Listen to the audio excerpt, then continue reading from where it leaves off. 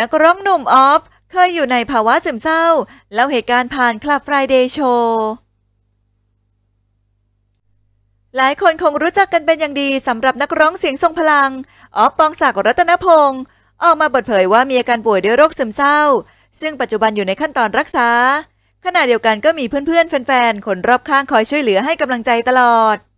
และล่าสุดออฟปองศักดิ์ได้มาเปิดใจเล่าในรายการ Club Friday Show ว่าเริ่มมีภาวะซึมเศร้าหนัก สาเหตุหนึ่งมาจากการที่ต้องสูญเสียคุณแม่ผู้เป็นที่รัก จากไปด้วยโรคมะเร็ง ออฟบอกว่ารู้สึกเหมือนคนจะเป็นบ้า